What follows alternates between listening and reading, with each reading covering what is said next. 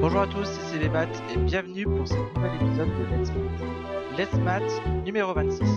Et aujourd'hui, nous allons aborder donc la seconde partie du calcul mental au certificat d'études primaires. Donc encore 6 nouveaux problèmes de calcul qu'on va découvrir maintenant.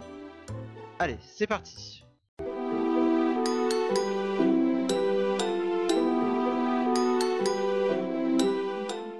1. Un ouvrier gagne 4,50 francs de l'heure. Il travaille 6 jours par semaine et 8 heures par jour. Sachant qu'il économise 41 francs par semaine, et que sa famille se compose de 4 personnes, quelle est la dépense quotidienne moyenne de chaque personne?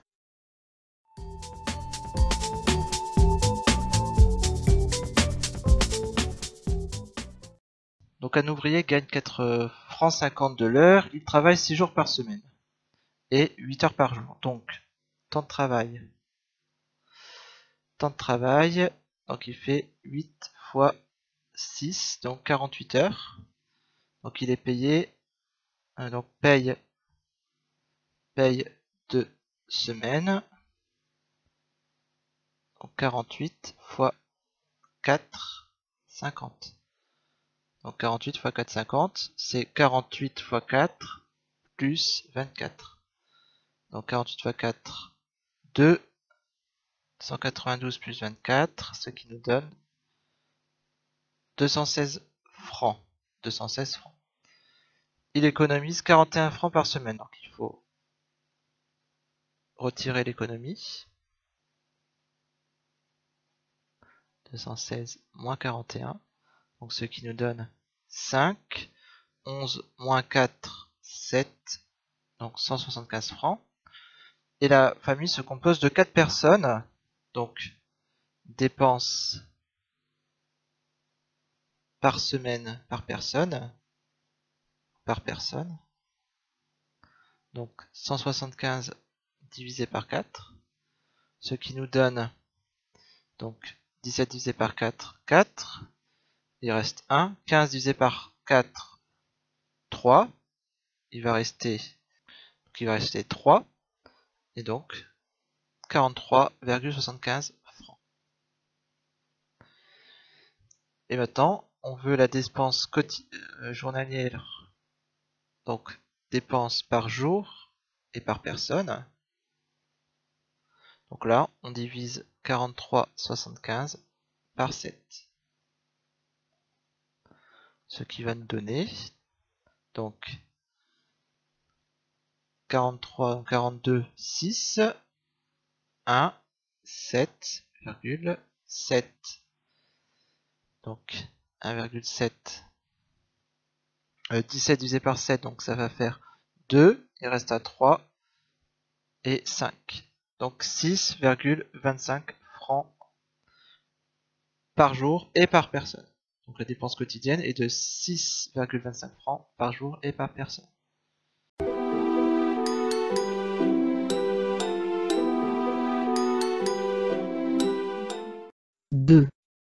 Dans un jardin public, un bassin circulaire de 10 mètres de rayon accueille 21 poissons rouges. Quelle sera la longueur de la bordure que l'on place autour du bassin?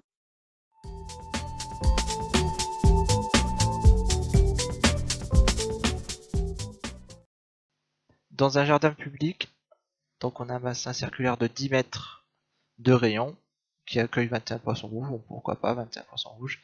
C'est une donnée inutile. Quelle sera la longueur de la bordure Donc le périmètre du bassin, c'est égal à 2 fois pi fois 10 mètres. Donc 2 fois le rayon, donc c'est 10 mètres. Donc 20 pi. Donc 20 fois 3, 14 et 20 fois 3, 14, ça nous fait donc 0, 2 fois 4, 8, 2 fois 1, 2,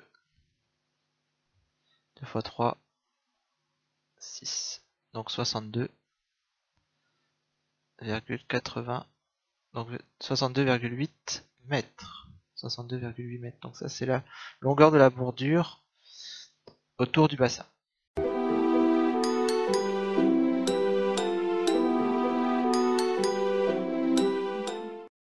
3. L'avant-centre de l'équipe de France est à 20 mètres du but, il tire. Deux secondes plus tard, le ballon est au fond des filets. À quelle vitesse moyenne, en kilomètres par heure, le ballon a-t-il parcouru sa trajectoire?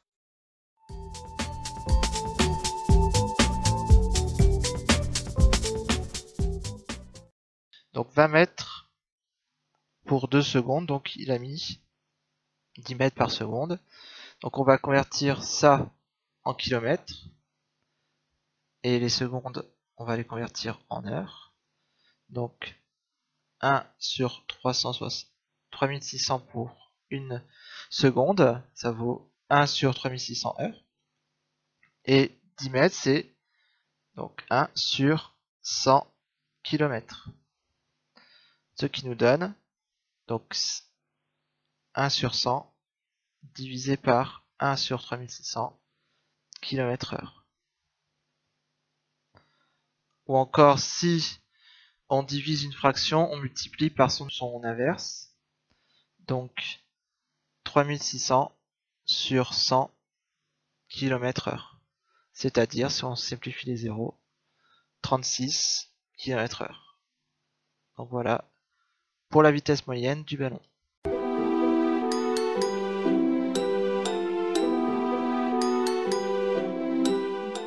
4. Un train accueille 145 passagers répartis entre la première et la seconde classe. Les premiers paient leur place 320 francs, et les secondes 260 francs. La recette est de 39 800 francs.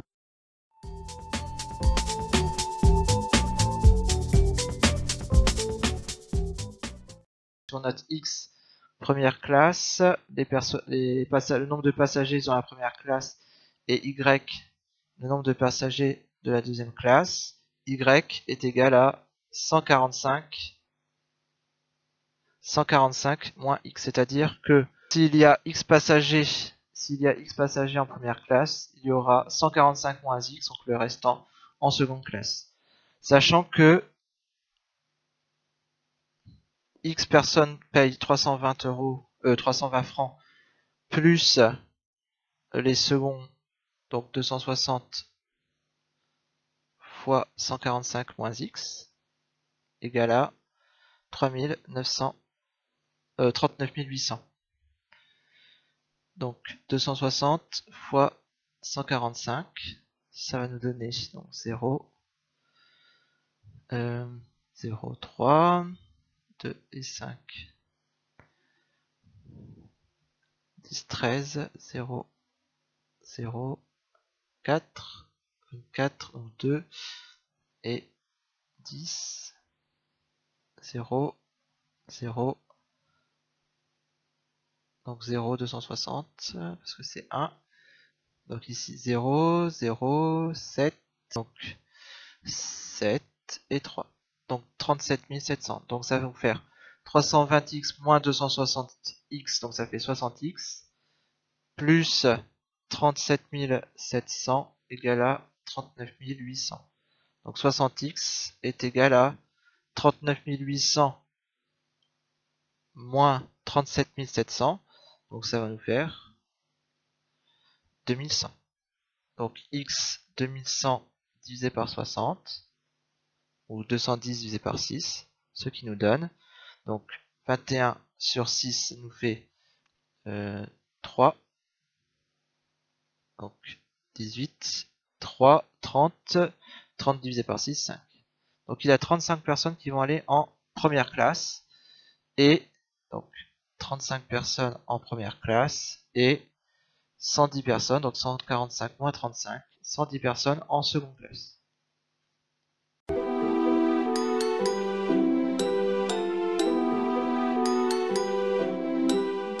5. On veut distribuer 150 bons points à 25 élèves. Les simples méritants en auront deux fois plus que les autres. Quelles seront les parts dans chaque catégorie?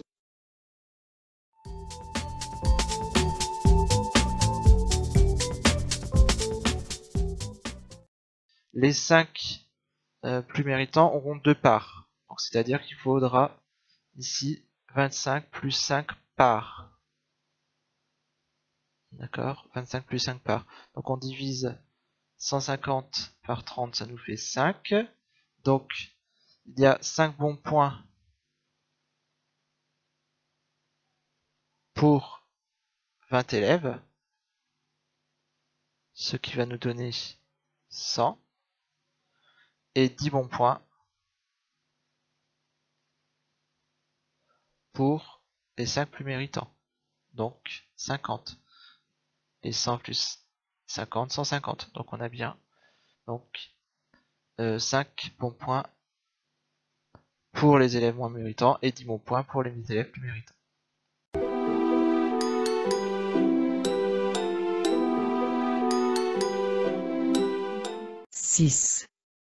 Une limace se déplace le long d'un mur à la vitesse de 5 mètres par heure. Au bout de combien de temps aura-t-elle parcouru 4 mètres?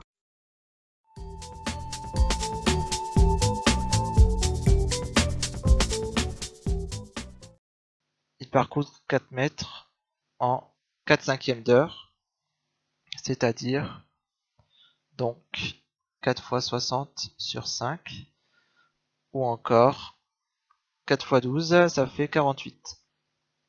48 minutes. Donc, il parcourt 4 mètres en 48 minutes. Bien voilà pour ces quelques problèmes de calcul au certificat d'études primaires.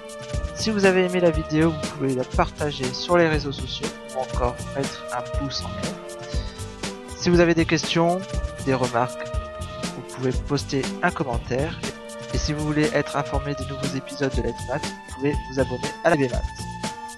Et d'ici là, portez-vous bien et à la prochaine.